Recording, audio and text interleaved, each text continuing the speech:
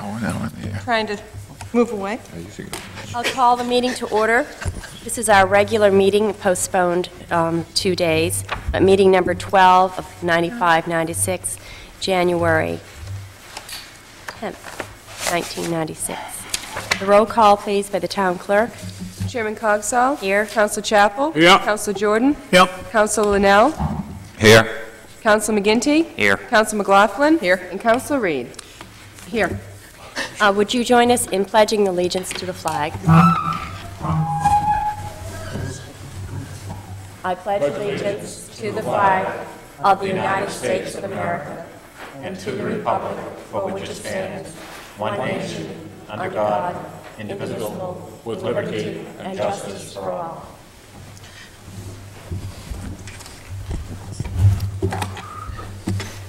Have the citizens' discussion period of items not on the agenda. There being no citizens coming forward, we'll move on to reports and correspondence. Madam Chair, Yes. you all ready? Okay. Uh, Regional Waste meeting of the subcommittee was uh, last Thursday. We met for about three and a half hours, and uh, we're getting revenue approaches pretty well under control. It's quite a job, which I want everybody to realize, and I hope we come up with a good plan. We're going to come up with a plan a lot quicker than they're doing in Washington, I'll guarantee you that. The, uh, when we take uh, Cape Elizabeth with 100% residential waste for all practical purposes, probably 98.9, who knows, but it's very, very close. And we have to, just using figures so that everybody can understand it, we'll say at $100 a ton to get rid of it. And then we have Portland. I don't like to pick them out, but they're easy to understand.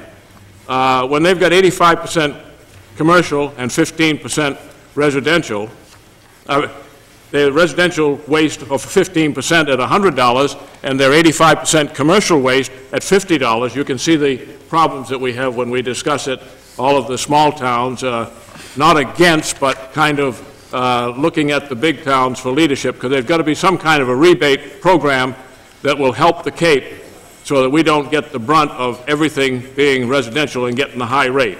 I, for one, would want to see the two rates down together, and that's what we're fighting for. Our next meeting is next uh, Thursday night at 5 o'clock, and then a full board meeting at 7 o'clock that night to discuss these. That brings you up to date on that. I got one other thing I'd like to speak briefly about tonight, if you'll stay with me. I'll finish five years on the council this year, and I wouldn't bring it up tonight, I'd wait a little later, but I think it's only fair where the clerk is going to have nomination papers on the 14th of February available in the town office, that I let you know that I'll not be running again as a councilor. It's been a rewarding experience, one I'll always be glad I decided to do five years ago. We're fortunate in Cape Elizabeth to have such wonderful groups to work with. Manager, I've been on two great trips with him, one to Washington and one to Dallas. I'll never forget them. Never forget the pictures, never forget the association. Department heads, we got some of the best. You can look a long ways to beat any one of them. The workers, the people, it's, it's really been a, a pleasure and I've had a lot of fun. When I first ran five years ago, we had four persons running for one seat. I hope we can do that again. The second time that I was fortunate enough to run, we had five persons running for two seats. I hope that this election this spring, we can do this all over again. There's going to be two seats open, mine and Rosemary's. If she decides to run, makes no difference. Let's get five running for two seats, four at the minimum. I would like to ask everybody that's within earshot of these microphones tonight to, uh, to really look at it and see if they haven't got a few hours each week to give in service for their town. I hate to see uncontested elections. I don't think they're healthy at all. Don't forget now, the 14th, Debbie has papers, and you that can, I urge you to get up here and take your papers out, and let's make it a real good old election. Finally, I want to thank all of you for letting me be your counselor. It's been fun, and I'll miss it. Thanks a lot. Thank you, Councillor Chappell. I've certainly enjoyed working with you all these years. Councillor Reed. Thank you. Well, Irv, it was my seat that you took, Yeah. so I'm really glad that you were there. You want to be careful? Uh, I, Madam Chairman, under correspondence, since um, I received a copy, as all councilors did, a copy of correspondence from MMA and Chris Lockwood regarding the workers' comp bid, I would like to publicly commend the town manager for his efforts to go out and try to get the most competitive workers' comp rates and benefits for the town.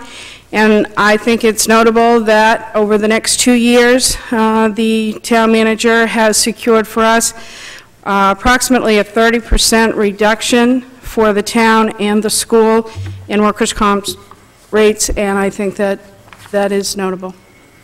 Thank you. Any other reports and correspondence? Counselor Linnell. Thank you, Madam Chairman. Um, I want to say uh, I've really enjoyed working with Council Chappell. Um, There is one point I'd make, though. Uh, I certainly hope we have a lot, of a good field of candidates for the next election. However, there are uh, special times when uh, there are uncontested elections, such as in May of '94, for example, when the co- the community feels very comfortable with the candidate and uh, the- uh, yeah, and it works out well. Uh, Sec, my, uh, I have a couple announcements. One is, I've been chosen to uh, represent Maine in the National League of Cities uh, Policy Committee on Energy, Environment, and Natural Resources. And uh, finally, on January 25th, I'll be uh, making a presentation to the Standing Committee on Utilities at the Legislature. Thank you. Thank you. Any other reports and correspondence? Um, I believe our town clerk has an announcement she'd like to make. Thank you very much. As Councilor Chappell indicated, uh, it is time to start thinking about the municipal election. It is held the first Tuesday in May, which is Tuesday, May 7th. Nomination papers are available in my office beginning on Wednesday, February 14th. The papers are due back on Monday, March 25th. There are two seats available, both on the town council and on the school board. In order to qualify, you must be a registered voter of Cape Elizabeth, and you must obtain between 25 and 100 signatures of registered voters in Cape Elizabeth. So I would, as Councilor Chappell does, encourage anyone to come see me if you'd like to take out papers, and we are available to answer any questions that you may have. Thank you. I just would like for general public information that we have hired a new uh, police officer, Eric Fay, who's replacing Katie Foley. He's a graduate of the University of Southern Maine, where he received a BA in criminology.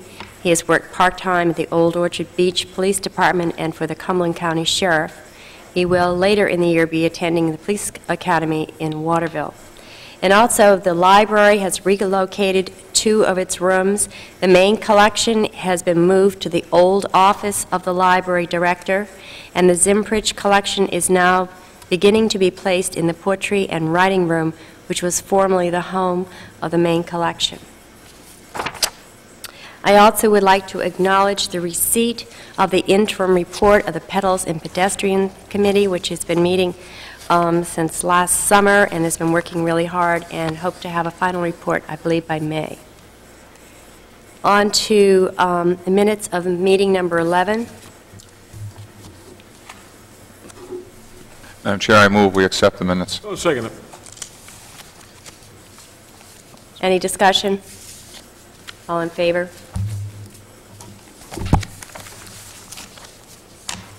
On to our public hearings. Uh, The first is the unsafe structure at 537 Shore Road. Mr. McGovern, do you want to give us a little update on that, please? Yes, very briefly, uh, the code enforcement officer, uh, Ernest McVeigh, is here as well this evening, uh, should the council have any questions, or anyone else in attendance have any questions. Uh, We have received a number of calls over the last few months about the condition of 537 Shore Road, which is the old uh, Basics uh, store uh, that's across from the cookie jar. Uh, We have, Ernie in particular has, has tried to work with the owner uh, for some time to encourage them to secure the structure and to begin to make improvements. Back in November, he finally indicated to them that they needed to take out their building permit, uh, or else. Uh, Subsequently, they took out their building permit, but there was concern that they may not follow through on it. Uh, As a result of that, uh, the council last month scheduled a public hearing uh, for Monday evening uh, on this particular uh, issue. Uh, The notices were given uh, to to the owners of the property about that hearing. Uh, Working with Ernie, uh, in- at his encouragement, uh, and I think as a result of the council action, uh, Mr. Burgess, the owner of the property, did get the message that it was time to begin work. Uh, There is a significant amount of work that uh, has been completed uh, on the structure. Uh, There is still more to do.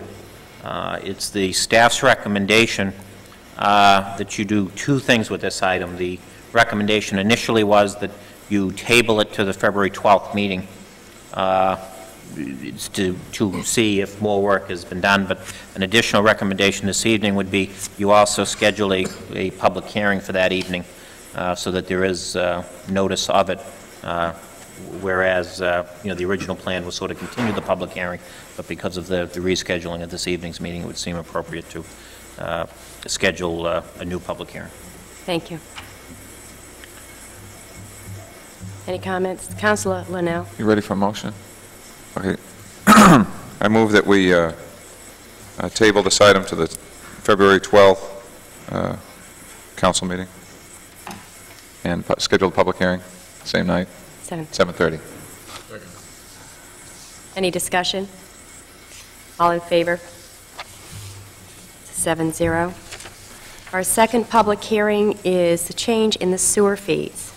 Mr. McGovern?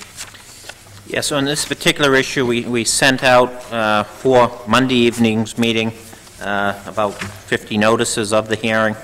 Uh, We also uh, had an ad in the newspaper, however, uh, since there really isn't a procedure for continuing a public hearing from Monday to Wednesday night, I would recommend that you uh, table this item and schedule a new public hearing for February 12th.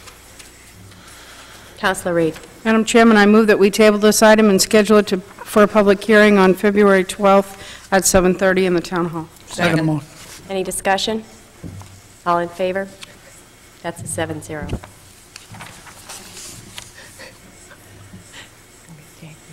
We essentially have taken care of items number 90 and 91 since we didn't actually have public hearings. Moving on to item number 92, to consider a proposed open space impact fee and take any necessary action. Mr. McGinty or Mr. McGovern? Um, I can handle this. Um, As you know, last month at the uh, Town Council meeting, we enacted a new open space impact um, fee ordinance of the subdivision subdivision ordinance. Um, And in light of that, um, we need to add to the town fee schedule um, the actual, what the actual impact fee will be. And uh, so I would move that we add to the town fee schedule, um, open space impact fee per lot slash unit of .208 acres of land, or $2,080. Second. There also was a consideration to um, make this effective January 12th, which is 30 days after the enactment. So therefore, it would be, everything would go into effect at the same time. Yeah, I would uh, amend my motion to include that effective January 12th. And the second amendment, Yes, please. discussion? All those in favor of the motion? It's a 7-0. On to item number 93, to consider approving a request from Engine One Company to use Fort Williams Park for their annual art show on September 1st, 1996, and take any necessary action. Mr. McGovern? Yes, uh, this has been a the fairly long-time tradition. The- The art show first started uh, down at Two Lights. Uh, Jim Ledbetter uh, got it started as it grew in years. Uh, uh, Over the years, Engine One became the sponsor, moved to Ford. It's a very nice event, and they'd like permission to use the park on September 1st with a rain date of September 2nd, which is Labor Day. Uh, We're already looking ahead to the end of summer. So move. Second. Discussion? All in favor? That's a 7-0. On to item number 94, to acknowledge the receipt of the proposed capital improvement plan for fiscal years 1997 through 2001 and take any necessary action. Mr. McGovern? Yes, thank you, Madam Chairman. Uh, One of the town council goals for this year uh, is to develop and improve the process for capital improvement planning in Cape Elizabeth. Uh, What the council has before it this evening is uh, the beginnings of an improved plan. I think it still needs some work, but we we are progressing, and I think doing a better job of it each year. The the There's really two truly significant changes this particular year in the plan. Uh, One is the fact that the Cape Elizabeth School Department is now included as well. Uh, It was desired that there be a, uh, uh, a joint plan uh, involving both the school and the town. And I think as you look at some of the numbers in years ahead, this really shows the benefit of coordinating projects uh, among the town and the school department. If there's particular projects that create a burden on the school side in one particular year, the town side can uh, hold back a little bit if there's things that need to be done on the, the, the the the opposite, uh, the, the opposite side can hold back. So I think it it works fairly well. Uh, Because of that, uh, there's a school bus on the, on the cover to really symbolically indicate that we're, we're moving down the same road together. Uh, I think it's also significant that there's a stop sign that appears on, on most buses. And uh, I think there's also a sub- subliminal message uh, with, with the stop sign, in that, uh, you know, as much as we, we need to move forward, we also have to be very, very cautious that, uh, that there are limits on the ability to pay. Uh, Nonetheless, as you look in the plan, uh, it is ambitious. Uh, It, it very much uh, has an emphasis on maintaining our existing infrastructure, our existing buildings, uh, maintaining uh, regular replacement schedules for all of our vehicles, and that's really the, the second major change in this, is that ev- all of the major vehicles are now included in this plan, and every one of them has an identified replacement date, uh, which was never the case before, uh, so that uh, we can really begin to see the, the effort that we need to be putting forward uh, each year in this regard. Uh, Beyond that, it's a lot of money. Uh, It's uh, over a million dollars a year proposed each and every year, which uh, compares to just under a million this past year. It's about 100,000 more this coming year. It's believed that that can be done within existing revenues without increasing taxes at all. However, in succeeding years, we begin to look at the need for two major projects. Uh, One is the renovation of Cape Elizabeth High School pool, uh, which uh, is in difficult shape, and there's a report in here indicating some work that needs to be done on that. Uh, The pool is now uh, 25 years old. In that high humidity environment, uh, things tend to wear out a lot faster than they do in other locations. It also is, I think everyone's aware, gets a tremendous amount of use. The second major issue and major concern facing us is a committee that involves a committee that Councilor Chappell's been chairing, and that's looking at the public safety space needs for the police and fire department. And uh, uh, his committee has, has really been doing a great job uh, looking at that issue, and my expectation, Irv, is you'll be coming out with a report by April? or March sooner, meeting of the At the council. March meeting of the council, so uh, that's really coming along. But I really do uh, appreciate the efforts of all the department heads and the school department in working with this, and uh, I think it's, a- it's a good start. Uh, We'll be improving the format a little bit uh, more next year, and uh, really trying to look at the numbers a lot more to see uh, how we can make this work to best serve the citizens. Thank you, Madam Chair. Thank you. And this was primarily staff input, and um, the council will be reviewing this in the budget process, is that correct? The councilors who are involved with the budget goal will probably have more in-depth discussions with you. That's right, and a, and a number of the, the major issues on this, the council will be looking at more in depth in the coming months. The, the pool, you'll, uh, there'll be a recommendation coming forward that you form a committee to, to look at the pool. Uh, as I mentioned, uh, Irv's committee is looking at public safety, and there'll be an emphasis on that. And beyond that, I hope to, you know, continue the process of, of having a, a different report at the council meeting every month that focuses on subsections or departments uh, within this. I think that's been an interesting process, and uh, one that uh, is beneficial to the council. I I find it interesting, and I hope citizens do as well. Thank you. Councilor McGinty. I move uh, acknowledgement of receipt of the proposed capital improvement uh, plan for fiscal years 1997 through 2001. Second? Discussion? Yeah, I'd just like to say that that's a tremendous job that the managers and the department heads have put together, and it's going to be a great help, I think, as a guide, more than anything else, a good guide to go on as you're put- trying to put your budgets together. I think it's great, We've and I second it also. we've been working towards this for a great number of years, and it's nice to actually see it happen while we're still here. Any other comments? Somebody's still here. I'm talking about Janet, myself, and Billy. Uh, All those in favor? Seven zero.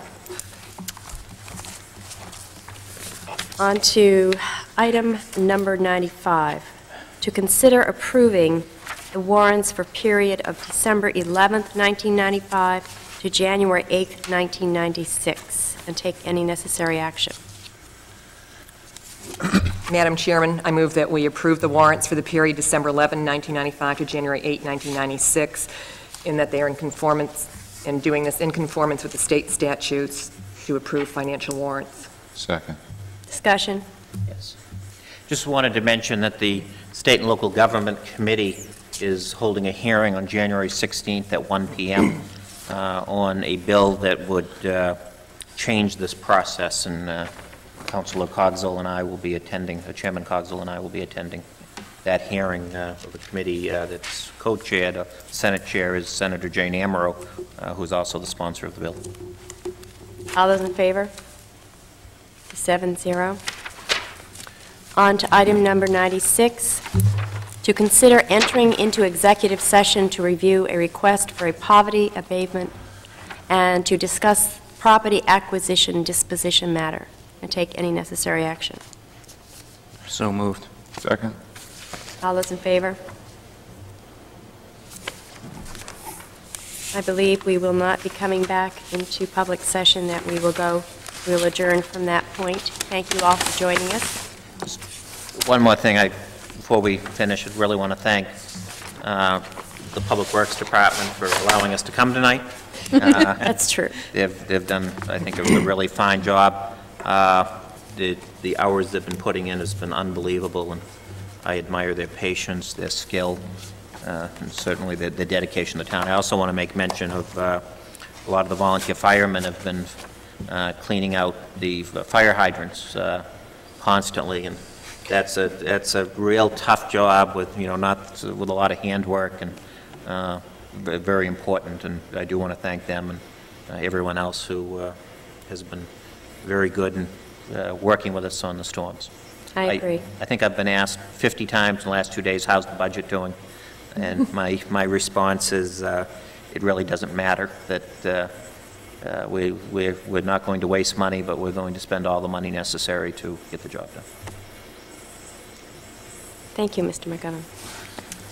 Okay, we will now um, adjourn to the executive session. Just a minute. I- Oh. Do you have a time on that meeting in Augusta? 16, 1 o'clock. 1 PM. 1 p.m.? Might go. We'll carpool up if you want to go.